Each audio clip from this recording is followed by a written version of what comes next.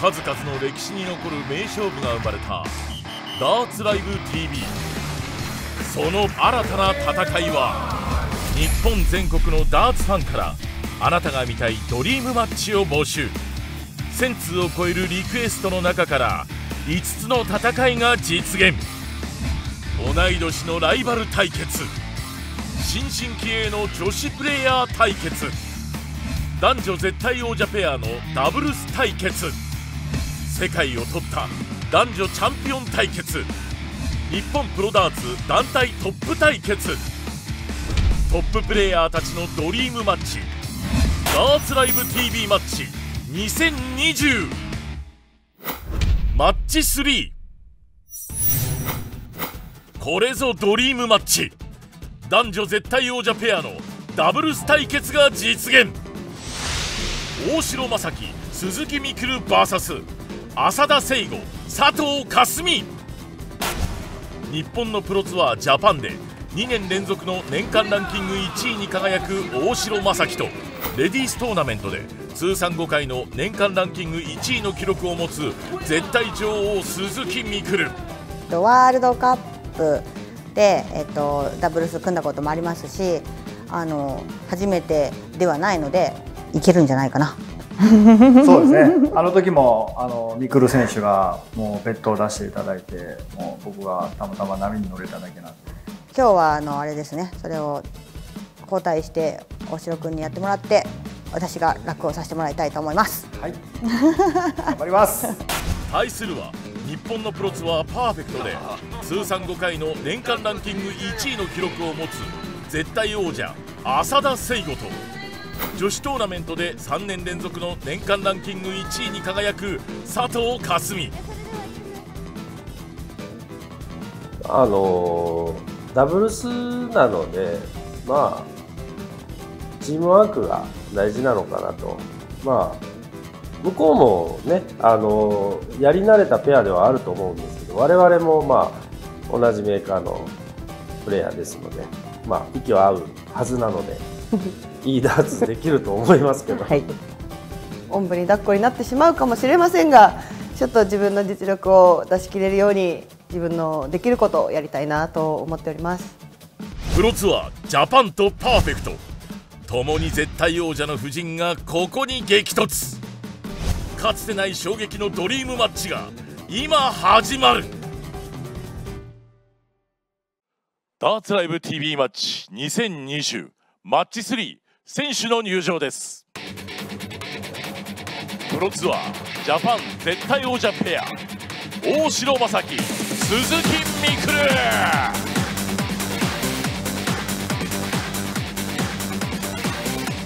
対するはプロツアーパーフェクト絶対王者ペア浅田聖吾佐藤克美。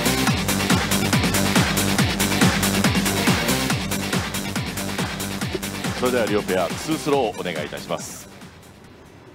これからマッチ3が始まります。ここからダブルスの試合の模様は実況私新谷健太郎と解説にプロダーツプレイヤー村松春樹さんを迎えてお送りします。村松さんマッチ1についてよろしくお願いします。はいよろしくお願いします。まあいよいよこれからダブルス始まるわけですけれども、はい、どんなところ楽しみにされますか？そうですね両方ランキング1位4人ランキング1位同士ですからね、はいまあ今までも多分こういうダブルスやったことないと思うんで、えー、うん、正直どうなるかは全然予想できないから面白いですね。ね。試合形式は701とスタンダードクリケットによる best of 5レッグマッチです。先攻は固定入れ替えで最終5レッグまで至った場合は再度 center cork を行い先攻後攻またはゲームの選択となります。701は fat bull open in master out のマックス15ラウンド。クリケットはマックス20ラウンドですまたペアのファースト、セカンドは固定となります。まあ、この本当にまあ面々というところを見ても非常にトップレベルの選手たちというところもありますしこの男女というところもありますし、まあ、どこがこう注目ポイントになってきますかね？そうですねイベント慣れとかこういう状況に強い人そうでない人って大城なんかはあんまりこういうイベントこなしてないっていうかちょっとどうなるのかなという正直わからない印象なんでね、えー、ジャパンのシーズン中はもうとんでもない強さ発揮してますけどこういう一発のイベントってなった時にどうなるか次第でちょっと変わってくるかと思いますね。今回の対戦ですが大城鈴木ペアのファーストは大城選手。浅田佐藤ペアのファーストは浅田選手となります。両ペア男性が先に投げます。ファーストです。それではこれからセンターコークということになります。まあ、男女でこの、ね、リズムが違ったりとかいろいろありますがこういうところっていうのはどうなんですか？女性と組むあれ男性と組むっていうのは。そうですまあ技術的には全然男性に劣らない女性たちなんでね、はい、ただ真剣勝負でのダブルスってなかなかシーズン中はないんでね。そういう面でどうなんだろうリズムとかそういうものが変わってくると思うんでね、はい、そこをどううまくこなしていくか重要になってくると思います、ね、はい、先行は浅田佐藤ペアとなりました、はい、センターコークの結果浅田佐藤ペアが先行となっています。さあこれから始まります。マキスリー大城正樹鈴木みくる VS 浅田聖吾佐藤香純ゲームオンさあこれからダブルスがスタートしていきます。両団体の絶対王者ペアのダブルス対決です。ダブルスこの優位に進めていくとなるこの立ち上がりというのはどんなところ大事なんですか、まあ、やっぱこのレベルだと当然ハットスタートが必須になってくると思いますね。はい。インナーブレうん、うん、来ました。ハットトリックでスタートしてきます。浅田聖吾今日はこの後マッチ5でシングルスの試合も控えています。大城鈴木。ファーストは大城。こちらも。一緒ですね、えー、この辺り必須というところでしょうかもそうですね。まず第1段階はクリアしたというところですかね。あとは女子がどうなるか女子にとってはこれが自身の初めてのスローとなります。続いて鈴木。大城鈴木がジャパンペア。そして浅田佐藤はパーフェクトペア。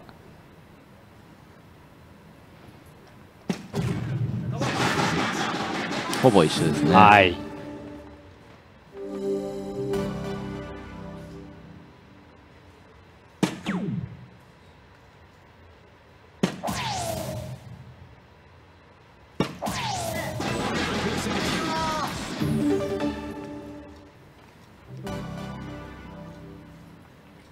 続いて大城のスローです。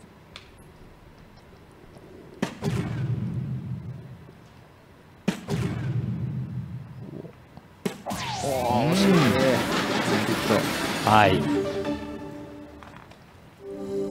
エフェクトの顔がムカつきますね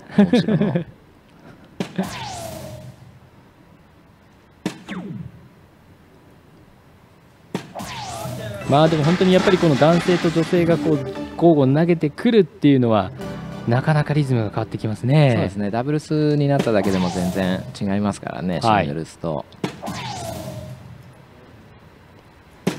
うん、さあこの辺りからどの辺りポイントになってきそうですか？あとはそうですね。上がり目。上がり目。どっちに女子に何点残るのか。はいここでハッと出しておけば、はい、ミクルに59点2本。2本でいいアレンジを出すことができるのに対して、はい、佐藤プロは3本絶対必要、うん、あ2本でもまあトリプルトリプルだと2本でいいんですけど、うん、まあ多分ブル5ブル狙ってくるんじゃないですかね。佐藤何を狙うかブルきました、さあ残すはブルです。あ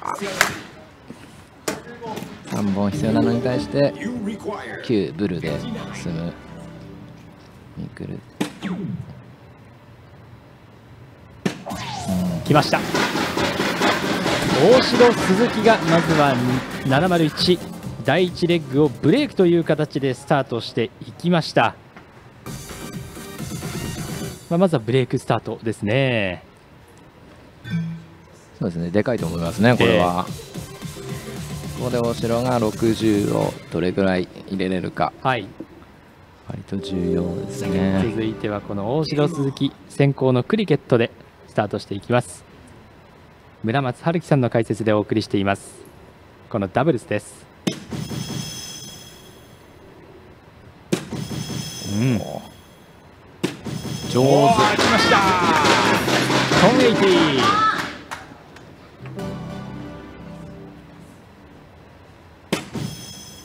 浅田19オープンまでは持っていきました。これ大城鈴木は本当いい滑り出しですね。そうですね。ここでしっかり19クローズで加点まではいクローズしました。ああ18です調子自体はどうですか？この各選手の。まあまだちょっとまあ上司あそうか全員全員初一発目ですね。そうですね。まあ硬いことは硬いとは思いますけどね。18オー。プンしてプッシュまで行きました。最後の3マークとかあまり考えられないスタートですからね。そうですね。まあ、180出された9マーク出されたのが結構プレッシャーになってるとは思いますね。はい。さあ、ね、ここ入っています。17もオープンしています。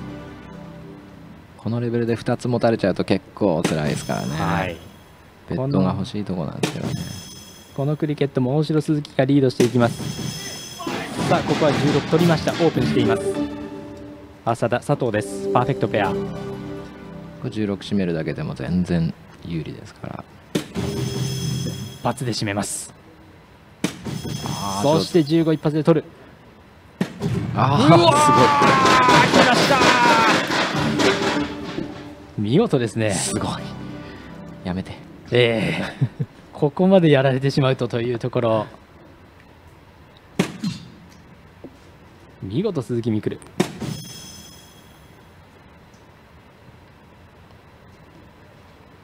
ここまで来るとちょっときついですね。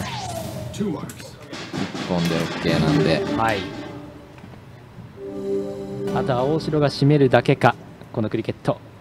まあノーブルってことはないとは思いますけど。ないとは思いますけど。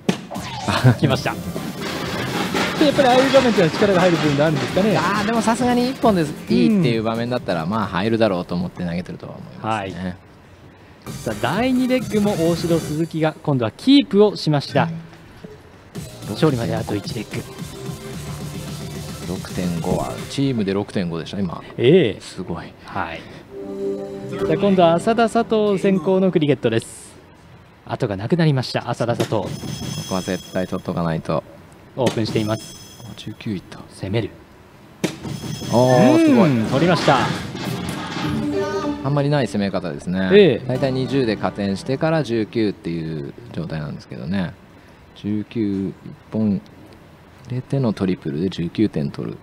で2つ加点できる場所を持つってあんまりなかなか奇襲に近いものがあると思いますね、18オープンやっぱりそこある程度か乱というような意図があるんでしょうかね。そうなんですかね、うん、シーズン中とかパーフェクトでこれをやってるかはちょっと僕確認しないですけど。はい。お18クローズです。きっちりですね。はい。ペットが欲しいところですね。17オープンしました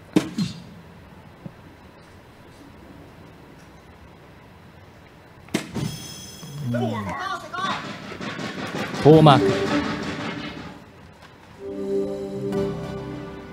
ただまあこの最初の浅田の動きというのが何か動きを生んでくるか、相手側にも。ね、やっぱ得点できるところが多いっていうのはもうものすごい武器なんでね、はい、やっぱさっきも言ったように2個持たれてるっていうのは結構きつい状況ですね。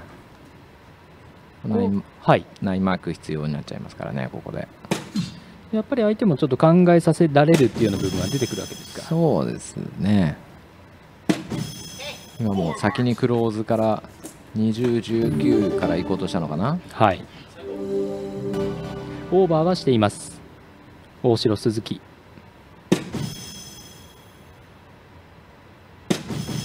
まあでもこうやってプッシュする場所がある、ね、はいやっぱり大きいですね、プッシュする場所をしっかり2つ持っているというのは。そうですね、2つクローズするのなかなかオーバーしつつクローズってナインマークばっかり必要になってくるんでね。はい。きましたね。1本でオーバー。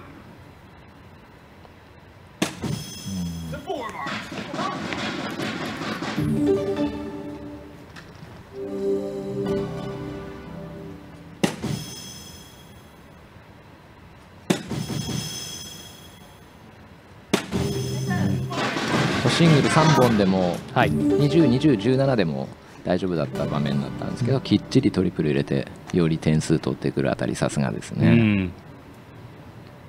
今の状況ですやはりまだ浅田、佐藤の方が有利な状況でしょうね。断然有利だと思います、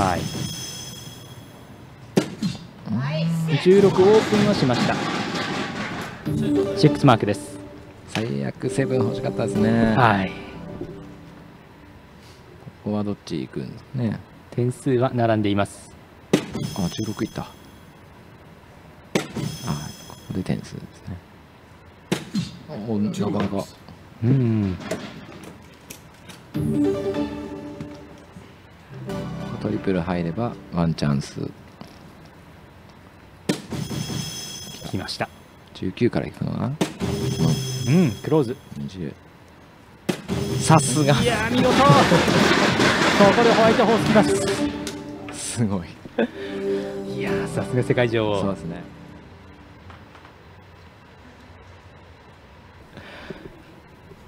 調子上がってくるかもしれませんねこのまま、ね、15オープン。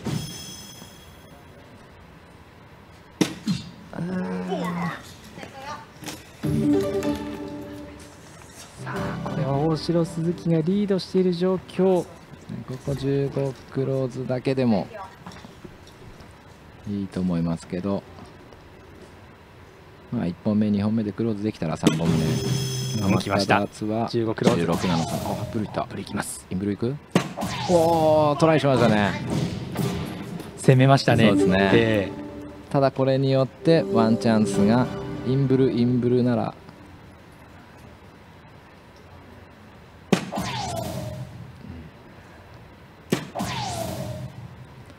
とりあえずインブル入れてオーバーしたい。あ来ました。これは面白い勝負となりました。これでまあ1本余計に投げさせられるっていう状況ですね。16いってでもブル1本なんで入っちゃうでしょう。これでフィニッシュとなりました。大城正このダブルス勝ったのは大城正樹鈴木みくるペアストレートの勝利でした